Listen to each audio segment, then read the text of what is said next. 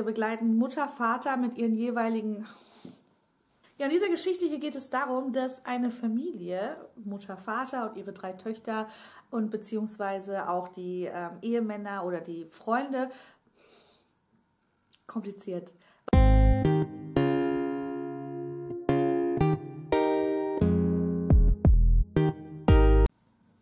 Ja, bevor wir mit dem Video starten, schreibt mir gerne in die Kommentare, was habt ihr gelesen? Habt ihr schon einen neuen Autor oder neue Autorin für euch entdeckt? Gibt es ein Highlight in diesem Jahr schon für euch? Würde mich sehr freuen, wenn wir ein bisschen in den Kommentaren uns austauschen könnten, falls ihr Lust habt. Hey, ihr Lieben, herzlich willkommen zurück im Bücherland und ich freue mich gerade richtig hier zu stehen und mit euch schnacken zu dürfen. Es ist eine Weile her. Seht es mir nach. Ich versuche zu drehen, immer mal wieder. Aber aus gesundheitlichen Gründen komme ich dem Ganzen gerade nicht so nach, wie ich das gerne hätte. Aber ich freue mich gerade umso mehr, dass es heute passt. Die Sonne scheint. Und ich zeige euch heute nämlich nicht nur die Bücher, die ich im Januar gelesen habe, sondern auch die Februarbücher. Und darauf freue ich mich sehr. Es waren ein paar Highlights dabei, schon zum Jahresstart. Macht's euch gemütlich und legen wir los. Richard Lehman, Die Insel, habe ich in einer Leserunde gelesen mit einer ganz lieben Zuschauerin. Und Richard Lehman und ich, das ist so ein Phänomen. Das ist so eine kleine Hassliebe. Ich kann es gar nicht anders sagen. Richard Lehman schreibt Horrorgeschichten, würde ich sagen. Schon wirklich Horrorgeschichten, in denen es viel äh, um Sex geht, die sehr trashig sind, die sehr brutal und sehr blutig sind. Und Richard Lehman schafft es auch wirklich, mich dazu zu bringen, beim Lesen oft die Augen zu verdrehen. Jetzt fragt ihr euch, warum greife ich dann dazu? Warum greife ich jetzt schon das dritte Mal zu Richard Lehman? Weil hier auch eben ganz viel passiert, was mich einfach gut unterhält. Ich kann es nicht anders sagen. Ähm, es ist immer spannend, man möchte wissen, wie es weitergeht, wie es ausgeht. Es hat so diesen gewissen Flair, der mich einfach packt. Auch wenn ich sagen muss, dass Richard Lehman es sich oft selber verbaut mit unglaubwürdigen Figuren. Also die handeln dann oft, wo ich mir denke, das kann ja jetzt nicht dein Ernst sein, Lehman. Das kann doch nicht dein Ernst sein, dass äh, Figur XY jetzt natürlich in dieser Gefahrenzone sexuell erregt ist oder dann auf einmal anfängt mit, äh, mit dem Stiefsohn rumzumachen und, und, und. Also so Momente, wo ich mir denke, das hätte es gar nicht gebraucht. Ich muss sagen, nachdem ich mich nach dem ersten Buch so ein bisschen davon dem Schock erholt habe, dass es wirklich sehr viel um Sex geht, kann man sich darauf einlassen und das einfach so ein bisschen genießen nicht den Sex in den Büchern, sondern den Rest der Geschichte. Also wenn man vorbereitet ist und sagt, okay, trotzdem lese ich es gerne, weil es halt spannend ist und weil es für mich irgendwie immer so einen gewissen Schrecken mit sich bringt, der mir gefällt. Und das geht mir so, dann kann man das Ganze schon genießen. Und ich muss sagen, die Insel hat mir gut gefallen, bekommt von mir 3,5 Sterne, weil hier eben auch wieder ganz viel drin ist, was mich super unterhalten hat. Das Buch geht auch direkt rasant los. Wir begleiten hier eine Familie in Form von Mutter, Vater, den drei Töchtern und den beiden Ehemännern beziehungsweise dem Freund. Und ähm, es geht direkt los. Die Urlaubsjacht explodiert. Ja, und dabei stirbt einer der Ehemänner der Töchter schon direkt am Anfang. Und sie sind jetzt in folgender Notlage. Sie wissen nicht, wie sie von dieser einsamen Insel, wo sie sich so ein bisschen in der Sonne braten wollten, wegkommen. Sie haben das Glück, dass sie einige Vorräte plündern können. Und äh, große Sorgen machen sie sich erstmal nicht, weil sie denken, okay, wir haben bestimmt einige Leute, die uns da vermissen werden. Und so ganz abgeschieden ist man nicht, weil man doch zu anderen Inseln rüberblicken kann. Aber man kommt eben nicht weg. Und diese Insel ist scheinbar unbewohnt. Und dann äh, folgt direkt der nächste Schrecken, denn ein weiteres Familienmitglied wird brutal ermordet. Und dann fragt man sich natürlich, was stimmt hier nicht? Wer steckt dahinter? Ist es einer der Familienmitglieder selber? Ist die Insel vielleicht doch nicht so unbewohnt, wie man glaubt? Und das Ganze war schon sehr rasant. Und das kann Richard Lame einfach. Rasant erzählen, schnell erzählen. Ähm, auch wenn ich sagen muss, zum Ende hin hatte das Buch hier tatsächlich ein paar Längen, die ich nicht gebraucht hätte.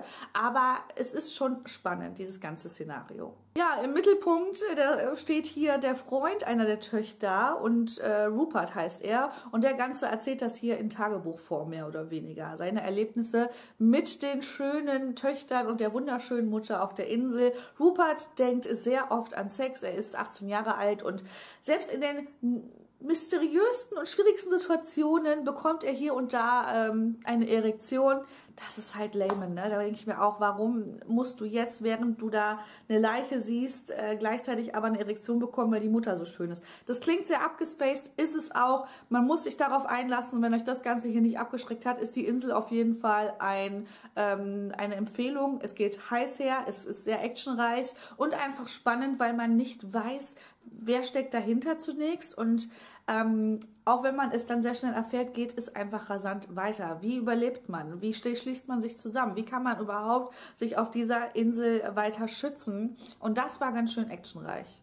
Zum Ende hin hat mir das ganz gut gefallen. Da geht das Buch nochmal Fahrt auf und es kommt auf jeden Fall zu einem Twist, der mir gut gefallen hat. Deshalb 3,5 Sterne. Aber machen wir schnell weiter. Richard Lame ist einfach eine Kost für sich und es fällt mir unheimlich schwer, darüber was zu erzählen. Also ich kann euch total verstehen, wenn ihr jetzt da steht und sagt, ey Sarah, also, das brauche ich nicht. Aber für diejenigen, die Grusel und Horror mögen, ich finde es schon gut. Dann kommen wir zu einem Buch, was bei mir auch wirklich für Verwirrung gesorgt hat, von Tess Gerritsen, Das Schattenhaus. Ich mag Bücher einfach, in denen es um ein Rätsel geht, in dem ein Protagonist oder eine Protagonistin ein äh, ja mehr oder weniger eigenes Abenteuer erlebt und ich mag auch das Setting Einsames Haus sehr. Und genau das hier, genau dieses Setting finden wir nämlich im Das Schattenhaus. Kommen wir zu einem Buch, was wirklich für Verwirrung in meinem Kopf gesorgt hat. Ich habe mit etwas gerechnet, was sich dann aber ganz anders entwickelt hat. Also wenn man erstmal liest das Schattenhaus, dann denkt man, okay, es geht um ein einsames gelegenes Haus, man muss vielleicht auch ein Rätsel lösen, es passieren mysteriöse Ereignisse und das sind die Geschichten, die mir einfach ganz viel Spaß machen. Und ich sag mal so, die Geschichte hat sich wirklich anders entwickelt, als ich zunächst dachte. Es geht hier um Ava und Ava ist Autorin und schreibt Kochbücher. Ja, und diesmal beschäftigt sie sich einfach mit alten Gerichten. Was hat man damals kochen können, wenn man nur wenig Zutaten hatte? Und dafür flüchtet sie in ein Herrenhaus nach Maine. Und dieses Haus hat eine ganz besondere Geschichte, denn ein ganz berühmter Kapitän hat in diesem Haus gelebt. Er ist umgekommen und dieses Haus wurde dann weiter vererbt. Und es hängen noch alte Gemälde unter anderem von ihm in diesem Haus. Also das Haus hat so eine ganz eigene Geschichte. Der Kapitän ist auch recht berühmt und man kann auch einiges äh, von ihm nachlesen in dem hiesigen Museum in dem Ort. Und dann geht es skurril weiter, sage ich euch. Ich sage mal so viel, das muss ich einfach erwähnen. Wir treffen hier auf einen Geist, der in diesem Haus lebt und man weiß nicht, ist der wohlgesonnen oder nicht. Und Ava ähm, wird damit sehr schnell konfrontiert, es passieren komische Dinge. Sie riecht immer mal wieder das Meer und dann taucht er auf, unser Kapitän. Und dann starten die beiden eine Liebesgeschichte. Und damit habe ich nicht gerechnet. Ich finde auch Avas Reaktion schon sehr merkwürdig. Sie sagt sich dann, okay, ich habe jetzt hier eine heiße Affäre mit dem Geist, aber eigentlich bilde ich mir das bestimmt nur ein, denn Ava flüchtet sich auch hier und da mal in den Alkohol. Und das war für mich, das war für mich wirklich ein bisschen ähm, unglaubhaft und auch ein bisschen das hat für mich einfach nicht gepasst. Also man kann jetzt so auch über die Geschichte, Liebesgeschichte zu dem Geist sagen, was man will, aber wenn man da schon das eingeht und sich dann aber immer wieder ausreden will, dass es ja eigentlich gar nicht möglich sein kann, das hat mich ein bisschen gestört und auch genervt, wenn ich ehrlich bin. Nichtsdestotrotz habe ich es gelesen. Ich bin von Tess Gerritsen ein bisschen enttäuscht, weil es ist auch ein relativ aktuelles Werk und ich ich weiß einfach, was sie sonst auch für tolle Geschichten schreiben kann. Nichtsdestotrotz ist es gut geschrieben, es hat Spaß gemacht, so in diesen kleinen Ort irgendwie einzutauchen, aber das Ganze war für mich nicht so rund, deshalb 2,5 Sterne. Und jetzt kann ich euch sagen, kommen drei Highlights, die ich in diesem Jahr schon entdecken durfte. Ein bisschen weiter unten mit vier Sternen ist Atme. Und Atme war wieder ein sehr rasanter, sehr raffinierter Thriller. Ich habe Judith Merchant letztes Jahr entdeckt und habe Schweig von ihr gelesen mit der lieben Lina von Lina Laune Bücher. Falls du zuguckst, ganz liebe Grüße an dich. Ich liebe es mit dir, äh, solche Thriller zu lesen. Wir haben immer viel zu knobeln und es macht einfach Spaß, sich auch über so eine Art von Büchern auszutauschen. Und Atme hat mir gut gefallen, kommt für mich nicht ganz an Schweig ran, aber jetzt erzähle ich euch erstmal, worum es hier geht. Es geht um Nile und Ben. Die beiden führen eine Liebesbeziehung und die Geschichte startet damit, dass beide sich einen schönen Tag machen. Sie gehen spazieren und dann sieht plötzlich Nile ein ganz tolles Kleid und geht in eine Boutique hinein. Sie kommt mit dem Kleid wieder raus und bemerkt, Ben ist plötzlich verschwunden. Er ist weg. Und dann gerät Nile wirklich in Panik. Sie wirkt schon fast manisch. Sie versucht ihn zu erreichen. Sie läuft die Straße ab, weil sie denkt, er muss ja in einen Unfall verwickelt sein. Warum sollte Ben plötzlich weg sein und auch nicht mehr an sein Handy gehen? Da merkt man schon, dass mit Nile vielleicht, ja, was nicht stimmt, will ich nicht sagen, aber dass Nile auf jeden Fall gewisse Sachen zu verarbeiten hat, dass sie direkt so reagiert in dieser Situation und äh, dass sie auf jeden Fall auch ein Geheimnis birgt. Und das Ganze war natürlich schon wieder spannend. Nile nimmt dann Kontakt mit Bens Ex-Freundin auf und die sagt dann, dass äh, Ben wahrscheinlich vor dir geflüchtet ist und Und deshalb weiß man auch nicht ganz, in welcher Beziehung war, standen denn Ben und Nile zueinander. Hatten sie eine gesunde Beziehung oder so, wie die Ex-Freundin sagt, hat Nile Ben unterdrückt, eingeengt und ist er deshalb von Nile geflohen? Man weiß es nicht. Und dann plötzlich folgt Nile der Ex-Freundin, Ex-Frau, zu einer Wohnung und die scheint Ben zu gehören. Wir wissen nicht, hat Ben sie gemietet, um vor Nile zu flüchten? Warum ist Ben aber dann in dem Fall auch nicht in der Wohnung? Und Ex-Frau und jetzige Freundin namens Nile machen sich auf den Weg und wollen Ben suchen und wissen, irgendwas stimmt hier nicht. Und das mag ich einfach an Judith Merchant, dass man oft nicht weiß, wem kann man hier glauben, wem, wem vertraut man jetzt, ja? Hört man auf die Worte von Nile, die sagt, wir hatten wirklich eine sehr schöne innige Beziehung, oder aber vielleicht auch der Ex-Frau oder Bens Freunde, die alle sagen, hier, du hast ihn unterdrückt, du hast ihn manipuliert. Und das Ganze mag ich einfach. Judith Merchant braucht nicht viel. Die braucht einfach nur eine Geschichte, die vielleicht aus zwei Perspektiven erzählt wird. So war es auch bei Schweig. Und äh, den, sie, sie schafft es einfach gut, den, Lehr den äh, Leser zu verwirren. Es ist wirklich ein raffiniertes Spiel, sehr psychologisch aufgebaut und spielt einfach auch so mit gewissen Traumata, die man haben kann, die man vielleicht nicht verarbeitet hat. Hier ist auf jeden Fall eine Triggerwarnung auszusprechen. Es geht auch um übergriffige, sexuelle Übergriffe zum Teil. Und das möchte ich ganz klar sagen, darauf müsst ihr vorbereitet sein. Ich finde das Ende schwierig. Ich musste es wirklich erstmal sacken lassen, wie ich das Ende finde. Aber ähm, ich sag mal so, das Ende hat jetzt nicht dazu geführt, dass ich sage, okay, das ist jetzt vier Sterne wert. Ich hätte es mir auch anders vorstellen können, aber der Weg dahin hat einfach so viel Spaß gemacht wieder. Und äh, Judith Merchant ist auf jeden Fall eine Neuentdeckung von mir. Und ich weiß, dass Lina auch ganz begeistert war wieder von dem Buch.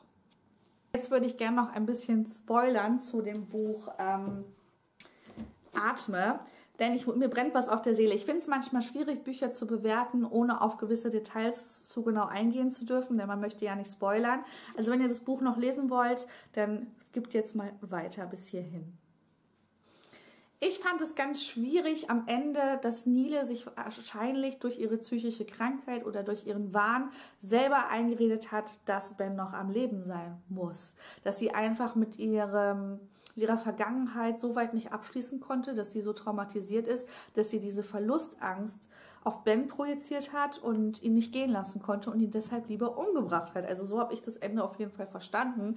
Und ich habe schon öfters über ja, den Punkt gesprochen mit anderen Booktubern, wie ist das eigentlich, wenn eine Figur sich selber in Büchern was vormacht?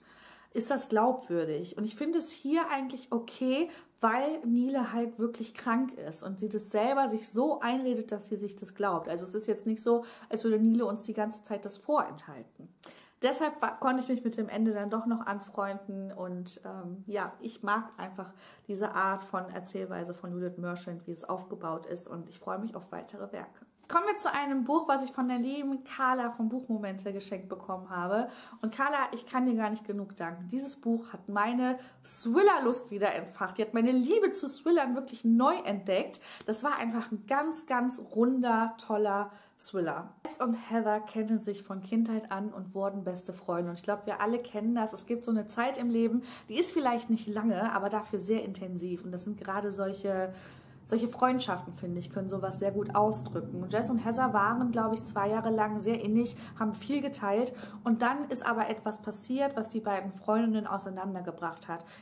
Ja, und Jess ist auch weggezogen, arbeitet zurzeit als Journalistin und erfährt dann, dass ihre damalig beste Freundin Heather angeblich bei Tag zwei Leute erschossen hat und danach sich selber in den Bauch, glaube ich, geschossen hat, auf jeden Fall sich selber verletzt hat. Sie liegt nun im Koma und Jess äh, möchte dem Ganzen nachgehen, möchte wissen, was ist mit ihrer Freundin passiert, was kann sie dazu bringen, wirklich ähm, ja, zwei Menschen einfach so zu erschießen. Was für eine Geschichte steckt dahinter? Man muss dazu sagen, dass Jess damals ihre Schwester verloren hat. Die ist von heute auf morgen spurlos verschwunden. Und deshalb kriegen wir auch noch auf einer anderen Zeitebene erzählt, wie es damals dazu kam, dass Heathers Schwester verschwunden ist. Und das hat mir am meisten Spaß gemacht, in diese Zeit einzutauchen der 90er Jahre.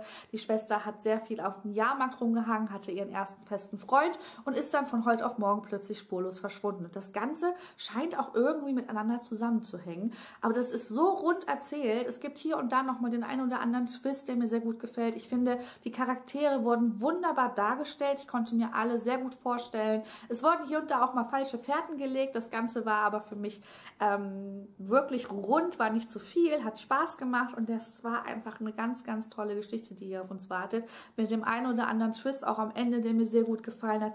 Das ist einfach ein du da, ihr merkt es schon, der ist spannend, tolle Figuren, ein Erzählstrang, der mir unwahrscheinlich viel Spaß gemacht hat, eben weil es so glaubhaft erzählt wurde, finde ich. Also auch dieser 90er-Jahre-Vibe kommt hier sehr gut rüber und mehr will ich gar nicht erzählen. Wer da was dahinter steckt, wir gehen auf jeden Fall mit Jess zusammen auf Ermittlungsjagd und versuchen den Fall zu lösen und ähm, dabei wird auch so das ein oder andere Geheimnis von Jess gelüftet. Wir erfahren, warum die Freundschaft damals zu Bruch gegangen ist und ich kann nur sagen, fünf Sterne, Leute. Fünf Sterne! Dann geht eine weitere zauberhafte Reise weiter und zwar nach Nevermore Band 2. Ich will gar nicht so viel erzählen. Ich habe das Buch einmal schon begonnen und gemerkt, ich bin nicht in der richtigen Stimmung dafür. Man muss für Nevermore bereit sein. Man muss sich dem Wunder stellen können. Man muss wirklich ganz frei im Kopf sein, nicht weil es so, so ja, kompliziert erzählt ist, ganz im Gegenteil, einfach damit man diese wunderbare Welt von vorne bis hinten genießen kann. So ging es mir und jetzt macht es einfach so viel Spaß.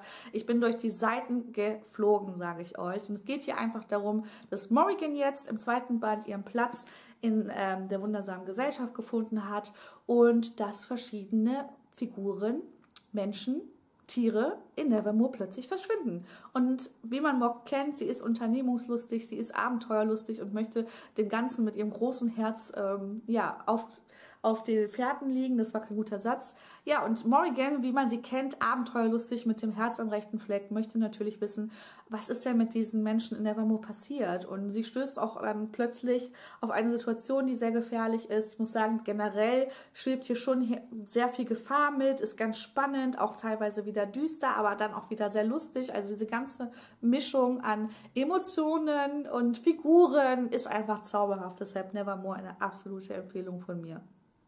Jetzt kommen wir zu einem Werk, was mich schon enttäuscht hat, muss ich sagen. Und die Rede ist hier von Ruth Ware, das Chalet. Aber erstmal, worum geht es in das Chalet? Die Mitarbeiter einer Social Media Group machen Urlaub in einem französischen eingeschneiten Luxuschalet.